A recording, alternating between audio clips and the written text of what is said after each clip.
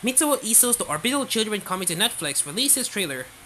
The Netflix Festival Japan 2021 event has a streaming service talking a lot about anime upcoming anime projects. This includes writer-director Mitsuo Iso's original anime two-parter movie, Chikyugai Shonen Shoujo, translated as Extraterrestrial Boys and Girls, opened in Japan.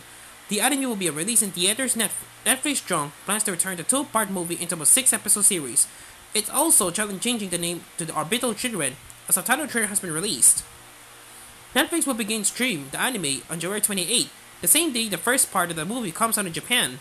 The second part hits theaters in February 11 in Japan. It's being made in the brand new studio Production H. And you can thank Netflix Pictures and Asmik Ace for funding this project. Are you interested in checking this out?